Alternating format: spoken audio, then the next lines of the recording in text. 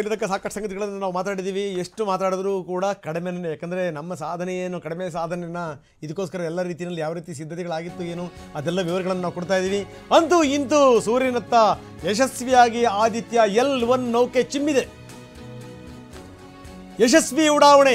ಈಗಾಗಲೇ ನಾಲ್ಕು ಹಂತಗಳನ್ನು ದಾಟಿರಬೇಕು ಆಗಲೇ ನಾವು ಬ್ರೇಕ್ ಬ್ರೇಕ್ಗಳಿಗಿಂತ ಮೊದಲು ಮೂರು ಹಂತಗಳಾಗಿತ್ತು. P S L V C fifty seven ಆದಿತ್ಯನ ಕಡೆಗೆ ಯಶಸ್ವಿಯಾಗಿ ಪಯಣವನ್ನು ಮುಂದುವರಿಸಿದೆ. ಸತೀಶ್ ಧವನ್ ಬಾಹ್ಯಾಕಾಶ ಕೇಂದ್ರದಿಂದ ಶ್ರೀಹರಿಕೋಟಾದಿಂದ ಉಡಾವಣೆ ಆಯಿತು. ನಿಗದಿತ ಕಕ್ಷೆಯಲ್ಲಿ ಸಾಗ್ತಾ ಇದೆ P S L V C fifty seven ನೌಕೆ. ಸೊ ಭಾಳ ಗಮನಿಸಬೇಕಾದಂಥ ಸಂಗತಿ, ಯಶಸ್ವಿಯಾಗಿ ಹೋಗಿ ಏನಾದರೂ ಅಲ್ಲಿ ಕೂತ್ಕೊಳ್ತು ಅಂತಂತಂದರೆ ಎಲ್ ಪಾಯಿಂಟಲ್ಲಿ ಕೂರ್ತು ಅಂತಂದರೆ, ಅಲ್ಲಿಂದ ಅದರ ಸಂಶೋಧನೆ ಶುರು. ಚಂದ್ರಕ್ರಾಂತಿ ಆಯಿತು ಈಗ ಸೂರ್ಯಕ್ರಾಂತಿ ಈ ಮುಖಾಂತರ ಏನು ಅಂತಂದರೆ ವೈಜ್ಞಾನಿಕ ಕ್ರಾಂತಿ, ವಿಜ್ಞಾನ ಕ್ರಾಂತಿ. ಮೊದಲ ಬಾರಿಗೆ ಸೂರ್ಯನ ಅಧ್ಯಯನ ಶುರುವಾಗಿದೆ. ಭಾರತದಿಂದ ಬೇರೆ ಬೇರೆ ದೇಶಗಳು ಇದಕ್ಕಿಂತ ಮೊದಲನೇ ಶುರು ಮಾಡಿವೆ. ಏಕೆಂದರೆ ಅಮೆರಿಕಾ ಪಯೋನಿಯರನ್ನು ಬಿಟ್ಟಿದೆ. ನಾಸಾ ಯುರೋಪ್ ಮೂರು ಹಂತಗಳಲ್ಲಿ ಉಲ್ಲೇಸಿಸನ್ನು ಬಿಟ್ಟಿದೆ. ನಾಸಾ ಯುರೋಪ್ ಮತ್ತು ಜಪಾನ್ ಸೇರಿಕೊಂಡು ಸೋಹೋ ಬಿಡ್ತು. ಇನ್ನು ಸೌರ ಜ್ವಾಲೆ ಅಧ್ಯಯನ ಮಾಡಲಿಕ್ಕೆ ಸ್ಟೀರಿಯೋ ಎ ಬಿ ಬಂದಿದೆ. ಸೂರ್ಯನ ಅತ್ಯಂತ ಸಮೀಪಕ್ಕೆ ಸಾಗಿದಂಥ ಮೊದಲ ನಾಸಾ ನೌಕೆ ಪಾರ್ಕರ್. ಅದು ಯಶಸ್ಸನ್ನು ಕಂಡಿದೆ ಆದರೆ ಭಾರತದ ಈ ಸಾಧನೆಯಲ್ಲಿ ಅಂದರೆ ಭಾರತದ ಈ ಪ್ರಯತ್ನದಲ್ಲಿ ಒಂದು ವಿಶೇಷತೆ ಇದೆ ಅದರ ಬಗ್ಗೆ ಮಾತಾಡ್ತೀವಿ ನಾವು effect on the life on earth uh, if you remember quebec there was an event when the power lines were snapped few years ago that was because of an extreme solar uh, event so to keep an eye on the surroundings of uh, earth we need these measurements and apart from that uh, for solar wind observations also uh, these measurements will be uh, crucial thank you Thank you very much, sir. So now we move on to Dr. Anuj Nandi. So, uh, what is the importance of solar flares and the impact in heliospheres? And how does Aditya L1 contribute to all of this? Uh, Good afternoon, viewers. Uh, As my colleagues already pointed out the importance of this mission and the instruments about. So the thing is, as you know, that solar flares are the energetic and explosive energy release in few seconds to minutes time scale, and it is order of 10 to 27 arcs to 10 to 32 arcs. Now the thing is, these solar flares, uh, why it is important as because the solar flares actually tells the dynamics and activity in the sun. So the thing is, what there are two instrument, unique instruments built by URL Satellite Center that is going to cover the solar flares from 1 kV to extremely high energy, around 200 kV. And we know that visible sun is only 6000 degree Kelvin temperature, whereas the outer surface of the sun is million degree Kelvin. So the thing is, why there is disparity? So I think these two instruments, along with the other two instruments, VLC and SUIT, we are going to address uh, the, this million dollar questions as well as why there is difference. Thank you. Thank you very much, sir. And now I'd like to go, uh, go back to uh, Dr. Anil Bharatwaj. So uh, there are many satellites that are sent to other, uh, the, uh, the space by other nations. So what makes Aditya L1 different from these satellites? Well, that's a very good question because, uh, first of all, let me again tell you that India will be the third, or Israel will be the third space agency to have a mission at L1 point. And I just mentioned that it is multi wavelength, multi instrument, and multi direction, and it measures particle, field, and radiations. So you don't have such kind of satellites existing at L1 point so far and currently. That makes Aditya L1 absolutely unique because we are going to measure remotely, in situ, and particles and fields. I was also mentioning about multi-direction, and that is coming from the aspects payload, which stands for Aditya Solar Wind Particle Experiments. And this is going to measure particles ranging from 100 EVs going to several MeVs, which is essential for us to know because when the CMEs are happening or the uh, sun is quite angry, the plasma which is coming out from the sun ranges from several EVs to several MEVs. And therefore, we should know in what direction the plasma is coming and whether the plasma is getting accelerated in between when it comes from sun towards earth. And therefore, there is a multi-direction information which is available from the aspects payload because it consists of two sensors, SWIS and STEP, essentially giving you in two different energy bands. And therefore, we'll be able to quantify the CME, CIRs, and all the process which is happening on the sun, which gives out coronal mass ejections. Thank you. Uh, Thank you very much, sir, for your remarks. And now, finally, we move on to the principal scientist, Dr. Sankar Subramaniam. So, how does India, the, how does the Indian science community seek to capitalize on ISRO's space capabilities, especially these observatory missions like uh, Astrostat and Aditya L1? Yeah. Uh, so now uh, ISRO has established that uh, it has a capability to uh, uh, send observatory class missions anywhere in the interplanetary medium. Um, ISRO also is developing capability for small satellite missions uh, uh, like a nanosat, CubeSat, as well as the small satellite capability. And that is something which, especially a heliophysics community, could utilize it because we can, at a low cost, we can launch many more such instruments which are essential for heliophysics uh, co- community here in India. So, and also the big, bigger mission takes its own uh, uh, life cycle because it requires technologies to be developed for, for a bigger missions. So in between these big missions, if we capitalize on these small uh, satellite missions, and that will uh, enhances the uh, um, uh, science capability of our country to the next uh, level. And uh, as you know, the science and technologies are always synergized. As the technology improves, your science improves. Uh, when I started my career in solar physics, I started with a uh, photospheric magnetic field. Now we are in a Vehicle is in positions where we can do coronal magnetic field uh, with Aditya L1, which was not feasible when I was doing my PhD.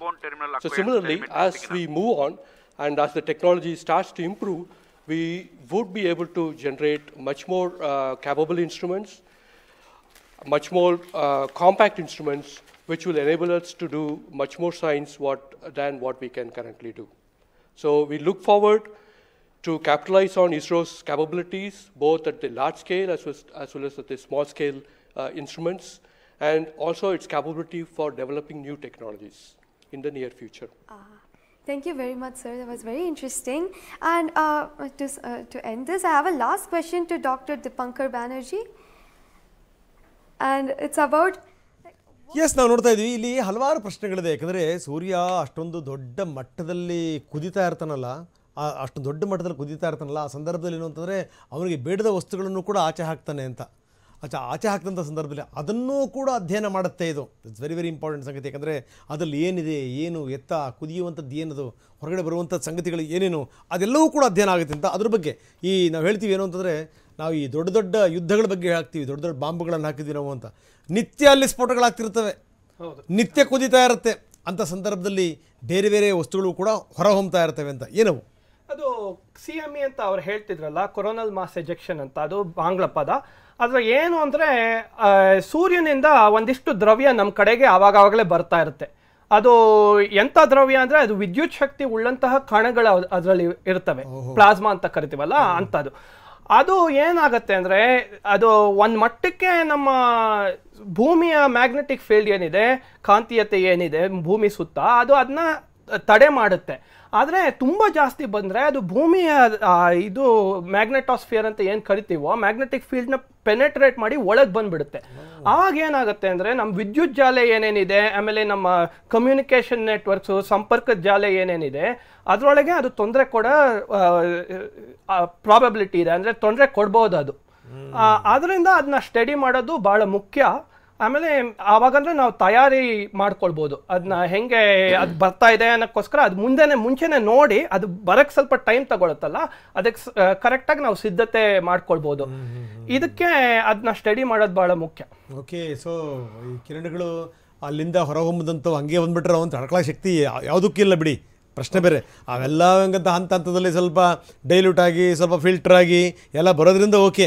ಬಂದಾದ್ಮೇಲೂ ಕೆಲವೊಂದು ತಡ್ಕೊಳಕ್ಕಾಗಲ್ಲ ಅಂಥ ಸ್ಥಿತಿ ಇದೆ. ಇನ್ನೇನೋ ನೇರ ಬಂದ್ಬಿಟ್ರೆ ಎಲ್ಲ ಉರಿದೋಗ್ಬಿಡ್ತಿತ್ತು ನಾವು ಪ್ರಶ್ನೆ ಬೇರೆ. ಏನಂತಿರ್ತಾವೆ ಹಾ, ನಿಜ ಸರ್. ಈ ಕೊರೋನಲ್ ಮಾಸ್ ಇಜೆಕ್ಷನ್ ಅಂತ ಏನು ಹೇಳ್ತಾರೆ? ಯಾಕಂದ್ರೆ ಸೋಲಾರ್ ವಿಂಡ್ ಅಂತ ಹೇಳ್ತಾರೆ. ಅದು ನಿರಂತರವಾಗಿ ಸೂರ್ಯನಿಂದ ಹೊರ ಹೋಗ್ತಾನೆ ಇರುತ್ತೆ. ಬಟ್ ಈ ಕೊರೋನಲ್ ಮಾಸ್ ಇಜೆಕ್ಷನ್ ಇರುತ್ತಲ್ಲ, ಅದು ಎಲ್ಲಿ, ಕೊರೋನಾದ ಯಾವ ಭಾಗದಲ್ಲಿ ಅದು ಉಂಟಾಗುತ್ತೆ ಅನ್ನೋದು ಕಂಡುಹಿಡಿಯೋದು ಒಂದು ತುಂಬ ಇಂಪಾರ್ಟೆಂಟ್ ನಮ್ಮ ಈ ಸೈನ್ಸ್ಗೆ ಯಾಕಂದ್ರೆ ಅದು ಇದು ಇಂಥ ಒಂದು ಭಾಗದಲ್ಲೇ ಅದು ಈಗ ಕೊರೋನಲ್ ಮಾಸ್ ಇಜೆಕ್ಷನ್ ಆಗುತ್ತೆ ಅಂತ ನಾವು ಕಂಡುಹಿಡಿಯೋದಾತಂದ್ರೆ ಆ ಭಾಗದಲ್ಲಿ ಆಮೇಲೆ ಕೊರೋನಲ್ ಮಾಸ್ ಇಜೆಕ್ಷನ್ ಗಾತ್ರ ಎಷ್ಟು ಅದರ ವೇಗ ಎಷ್ಟು ಎಷ್ಟು ವೇಗವಾಗಿ ಬರುತ್ತೆ, ಆಮೇಲೆ ಅದರಲ್ಲಿ ಇರ್ತಕ್ಕಂಥ ಈ ಪಾರ್ಟಿಕಲ್ಸ್ ಎಷ್ಟು ಎನರ್ಜಿ ಆಗಿರುತ್ತೆ ಅನ್ನೋ ಅದನ್ನ ಮುಂಚೆನೇ ನಾವು ಫೈ ಕ್ಯಾಲ್ಕುಲೇಟ್ ಮಾಡಿ ಇಟ್ಕೊಂಡಿದ್ರೆ. ಸೊ ಅದರಿಂದ ನಮ್ಮ ಸೆಟಲೈಟ್ಸ್ ಏನಾದರೂ ಹಾನಿ ಆಗೋ ಥರ ಏನಾದರೂ ಇದ್ದರೆ ನಮ್ಮ ಸೆಟಲೈಟ್ಸ್ಗಳನ್ನು ಮುಂಚೆನೇ ನಾವು ಸುರಕ್ಷತೆ ಮಾಡ್ಕೋಬೋದು. ಸೊ ಈ ಒಂದು ಆದಿತ್ಯ ಎಲ್ ಒನ್ ಮಿಷನ್ ಏನಿದೆಯಲ್ಲ ಸೊ ಇದು ಆ, ರೀಜನ್ ಅಲ್ಲಿ ಈ ರೀತಿ ಕೊರೋನಲ್ ಮಾಸ್ ಇಜೆಕ್ಷನ್ ಆಗ್ತಾ ಇರುತ್ತಲ್ಲ ಇದ್ರ ಬಗ್ಗೆ ಅಧ್ಯಯನ ಮಾಡಿ. ನಮಗೆ ಅಂದ್ರೆ ಈಗ ಈ ಸ್ಟೀರಿಯೋ ಈ ಪಾರ್ಕರ್ ಈ ಪಯೋನಿಯರ್ ಇವೆಲ್ಲ ಏನೇನಿದಾವಲ್ಲ ಇವು? ಹಿಂದೆಲ್ಲ ಬಿಟ್ಟಿರೋಂಥವು ಅದಕ್ಕಿಂತ ಇದು ಹೇಗೆ ವಿಭಿನ್ನ? ಇದು ಇದು ಏನು ಎಕ್ಸ್ಟ್ರಾ ಸ್ಟಡಿ ಮಾಡುತ್ತೆ ಇದು ಹಾಗಾದ್ರೆ? ಸೊ ಈ ಆದಿತ್ಯ ಎಲ್ವನ್ ಅಲ್ಲಿ ಕೊರೋನಲ್ ಮಾಸ್ ಎಜೆಕ್ಷನ್ ಮುಖಾಂತರ ಈಗ ಮತ್ತೆ ಸ್ಪೇಸ್ ವೆದರ್ ಅಂತ ಹೇಳ್ತಾರೆ. ಅಂದ್ರೆ ಬಾಹ್ಯಾಕಾಶದಲ್ಲಿ coronal mass ejection is one part of Aditya L one mission so along with that X rays ಮತ್ತೆ ಸ್ಪೇಸ್ ವೆದರ್ ಅನ್ನು ಇಲ್ಲಿ ನಾವು ಅಧ್ಯಯನ ಮಾಡುತ್ತೆ. ಎಸ್ಪೆಷಲಿ ಈ ಸ್ಪೇಸ್ ವೆದರ್ ಅಲ್ಲಿ ಕಾಂತಿ ಕ್ಷೇತ್ರ ಈಗ ನಮ್ಮ ಬಾಹ್ಯಾಕಾಶದಲ್ಲಿ ಕಾಂತಿಯ ವ್ಯವಸ್ಥೆ ಯಾವ ರೀತಿ ವೇರಿಯೇಷನ್ ಆಗ್ತಾ ಇರುತ್ತೆ. ಸೊ ಅದನ್ನ ಈ ಇದೊಂದು ಅಧ್ಯಯನ ಮಾಡುತ್ತೆ. ಈ ಒಂದು ಅಧ್ಯಯನದಿಂದ ನಮ್ಮ ಅದೇ ಅದೇ ಸೆಟಲೈಟ್ಸ್ಗಳಿಗೆ ಏನಾದರೂ ಮುಂಚೆನೆ ಹಾನಿ ಆಗೋ ರೀತಿ ಇತ್ತಂದ್ರೆ ಅದನ್ನ ಕಾಪಾಡ್ಕೊಳ್ಳಬಹುದು ಕಾಪಾಡ್ಕೊಳ್ಬಹುದು. ಆಮೇಲೆ ಈ ನಾ ಈ ಇವ್ರು ಇವ್ರು ಹೇಳ್ದಾಗೆ ಆ ಕೊರೋನಲ್ ಮಾಸ್ ಸಜೆಕ್ಷನ್ಸ್ ತುಂಬಾ ಪವರ್ಫುಲ್ ಆಗಿತ್ತಂದ್ರೆ ನಮ್ಮ ಸೆಟಲೈಟ್ಸ್ ತುಂಬಾ ಹಾನಿ ಆಗುತ್ತೆ ಅಂತ ಹೇಳಿದ್ರೆ. ಸೊ ಕ್ಯಾರಿಂಗ್ಟನ್ ಇವೆಂಟ್ ಅಂತ ಏಯ್ಟೀನ್ ಫಿಫ್ಟಿ ನೈನಲ್ಲಿ ಆಗಿತ್ತಂತೆ. ಸೊ ನಾನು ಓದ್ತಾ ಇದ್ದೆ ಒಂದು ಲೇಖನ. ಸೊ ಏಯ್ಟೀನ್ ಫಿಫ್ಟಿ ನೈನಲ್ಲಿ ಆದಾಗ ಇಲ್ಲಿ ಆವಾಗ ಟೆಲಿಗ್ರಾಫ್ ಇದ್ವಲ್ಲ. ಸೊ ಯುರೋಪಿಯನ್ ಮತ್ತು ಯು ಎಸ್ ಎದಲ್ಲಿ ಕೆಲವೊಂದು ಟೆಲಿಗ್ರಾಫ್ ಹಾಳಾಗಿದ್ವು ಅಂತ ಒಂದು ಆರ್ಟಿಕಲ್ ಅಲ್ಲಿ ನಾನು ಓದಿದ್ದು. ಸೊ ಸೊ ಮುಂದೆ ಕೂಡ ಈ ರೀತಿ ಹಾನಿಗಳಾಗಬಹುದು ಹಾ ಆಗ್ಬಹುದು ಯಾಕಂದ್ರೆ ಅದು ಯಾವ ದಿಕ್ಕಿನಲ್ಲಿ ಆ ಕೊರೋನಲ್ ಮಾಸ್ ಇಜೆಕ್ಷನ್ ಬರ್ತಾ ಇರುತ್ತೆ ಅನ್ನೋದನ್ನ ನಾವು ಮುಂಚೆನೆ ಪ್ರಿಡಿಕ್ಟ್ ಮಾಡಿದ್ರೆ ಸೊ ಅದು ನಮಗೆ ತುಂಬಾ ಉಪಯೋಗ ಆಗುತ್ತೆ. ಜೊತೆಗೆ ಏನಂದ್ರೆ ಅಂದ್ರೆ ಅದಕ್ಕೆ ತಕ್ಕ ಹಾಗೆ ಅದನ್ನ ತಡೆಗಟ್ಟಲಿಕ್ಕೆ. ಹೌದು. ಅವ ಅವನು ಅಲ್ಲಿಂದ ಉಗುಳುವಂತದ್ದು ಏನಿದೆಯಲ್ಲ ಅಲ್ಲಿಂದ ಹೊರ ಹಾಕುವಂಥದ್ದು ಏನಿದಿಲ್ಲ ಅದನ್ನ ತಡೆಯಕ್ಕೆ ಸಾಧ್ಯ ಇಲ್ಲ. ಆದ್ರೆ ಅದರಿಂದ ನಾವು ಹೆಂಗ್ ರಕ್ಷಣೆ ಮಾಡ್ಕೋಬೇಕು ಅನ್ನೋದ್ರ ಬಗ್ಗೆ ನಮ್ ನಮ್ದು ರೀತಿಯಲ್ಲಿ ನಾವು ಪ್ರಿಪೇರ್ ಆಗ್ಬೋದು ಅಂತ.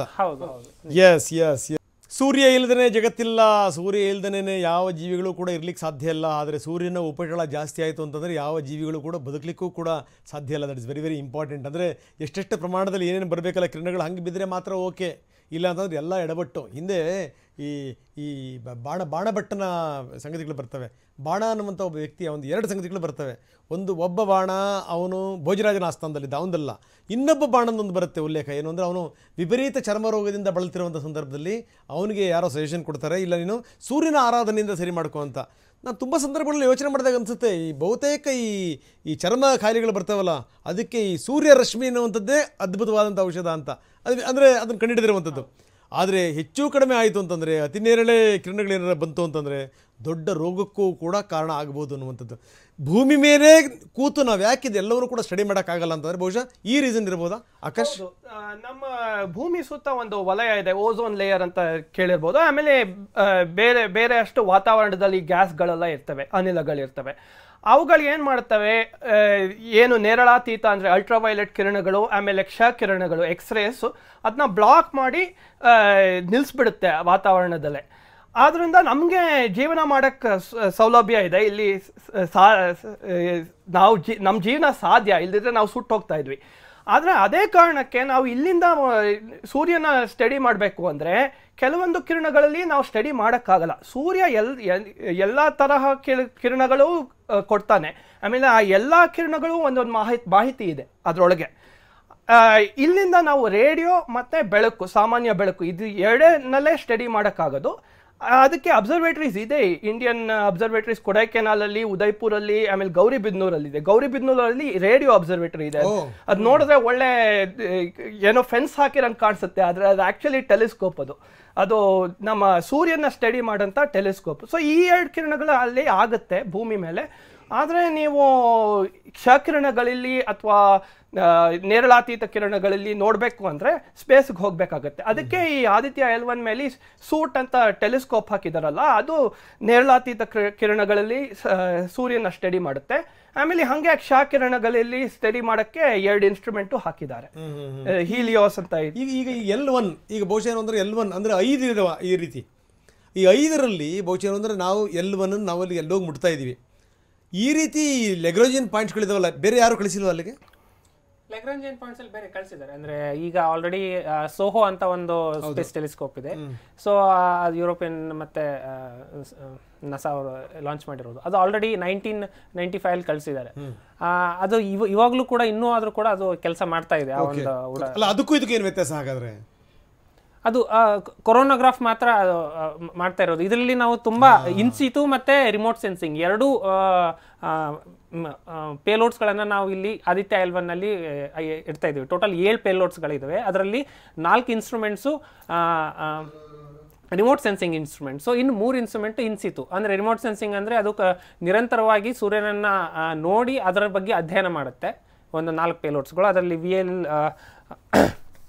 V L E C ಅನ್ನೋದು ಒಂದು ಇಂಪಾರ್ಟೆಂಟು ಅದು ಕೊರೋ ಆಸ್ ನಾನು ಆಗಲೇ ಹೇಳಿದ ಪ್ರಕಾರ ಕೊರೋನಾ ಅದನ್ನ ಅದನ್ನೇ ಮೇನ್ ಮುಖ್ಯವಾಗಿ ಅದನ್ನ ಅಧ್ಯಯನ ಮಾಡೋದು. ಆಮೇಲೆ ಇನ್ನೊಂದು ಆ ಎಲ್ ಒನ್ ಲ್ಯಾಗ್ರಾಂಜಿಯನ್ ಪಾಯಿಂಟಲ್ಲಿ ಈ ಸೂರ್ಯ ಜ್ವಾಲೆಗಳೇನು ಬರ್ತಾ ಇರುತ್ತವಲ್ವ ಅವು ಎಲ್ಲ ಎಲ್ವನ್ ಲ್ಯಾಗ್ರಾಂಜಿಯನ್ ಪಾಯಿಂಟಲ್ಲಿ ಯಾವ ರೀತಿ ಅವ ಅವುಗಳ ಗುಣಮಟ್ಟವನ್ನು ಬದಲಾಯಿಸ್ಕೊಳ್ಳುತ್ತೆ. ಯಾಕಂದರೆ ಅವು ಆಲ್ರೆಡಿ ಸೂರ್ಯನಿಂದ ಚಲಿಸಿರುತ್ತೆ ತುಂಬ ದೂರ.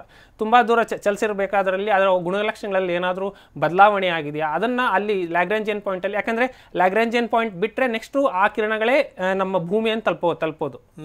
ಯಾಕಂದ್ರೆ ವೆರಿ ಇಂಪಾರ್ಟೆಂಟ್ ಹೌದು. ಯಾಕಂದ್ರೆ ಎಲ್ಲ ಭೂಮಿ ತಲುಪ್ತವೆ ಅದೇ ಲ್ಯಾಗ್ರಾಂಜಿಯನ್ ಪಾಯಿಂಟ್ ಮ್, ಬರೋ ಕಿರಣಗಳೇನೆ ಮುಂದೆ ನಮ್ಮ ಭೂಮಿಯನ್ನು ತಲುಪೋದು. ಸೊ ಆ ಲ್ಯಾಗ್ರಾಂಜಿಯನ್ ಪಾಯಿಂಟ್ ಅಲ್ಲೇನೆ ಅವುಗಳ ಗುಣಲಕ್ಷಣಗಳನ್ನು ತಿಳ್ಕೊಂಡು ಆ ಮಾಹಿತಿನ ನಮಗೆ ಭೂಮಿಗೆ ಕಳಿಸಿದ್ರೆ ಸೊ ನಾವು ಅದು ಯಾವ ರೀತಿ ಇರ್ಬೋದು ಅನ್ನೋ ನಾವು ಮುಂಚೆನೆ ಮಾಹಿತಿ ಇಲ್ಲಿ ಇಲ್ಲಿ ಇಲ್ಲಿ ನನಗೊಂದು ಬಹಳ ಕುತೂಹಲದ ಸಂಗತಿ ಏನು ಅಂತಂದ್ರೆ ಅಲ್ಲಿ ಹೋಗಿ ಈ ಪೇಲೋಡ್ಸ್ಗಳಿದಾವಲ್ಲ ಅವು ಈ ಕೃತಕ ಗ್ರಹಣವನ್ನು ಸೃಷ್ಟಿ ಮಾಡ್ತವೆ ಅಂತ.